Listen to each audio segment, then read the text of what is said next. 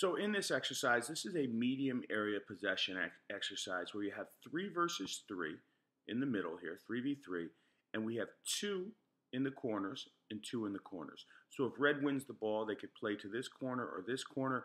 We added the mannequins as kind of a diversion here. This is something that they have to work around.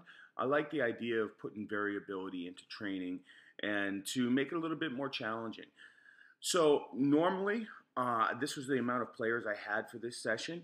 Normally, I would have extra players on the outside here. I'd probably change the shape a little bit. Because of this is the amount of players I had, I made it work with the shape and the number of outside players.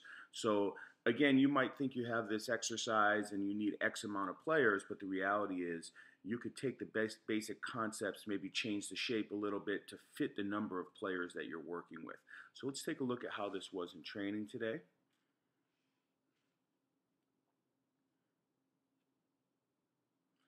Remember, red can only play to the outside red.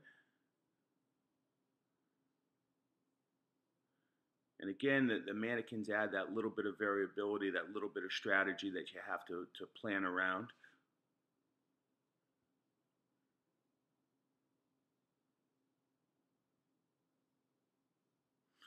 And the, guys are always looking to find holes in the rules in the game, right? So you saw a ball from one red from one corner to another red to the other corner. So I have to decide, am I going to let those red guys use each other on one direct pass or am I not? And these are these are things that we, you know, come up as as as the exercise progresses. So you could see the guys are comfortable, they're doing a nice job moving the ball. You could add 4v4 in the middle. You can add neutral player. All these things you could keep building on. But that's a nice medium area uh, possession game that your team will enjoy.